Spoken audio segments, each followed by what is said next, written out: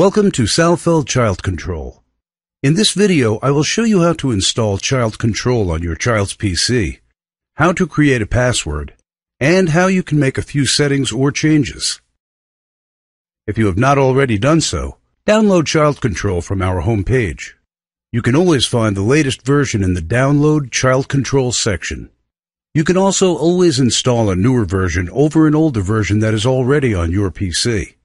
So now that the download has been completed, it's time to install the software. Start by confirming the license terms. Accept the default path and click on Install. You will be asked to enter a password the first time you open the software. You will need this password every time you want to change the settings or uninstall the program. Enter an email address so that you will be able to use the email report or internet remote control function. You will receive a notification telling you that you are still using the trial version after you enter your password. You can enter your serial number now if you have already purchased a version.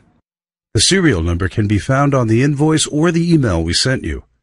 You can also use the software for free during the trial period if you do not have a serial number.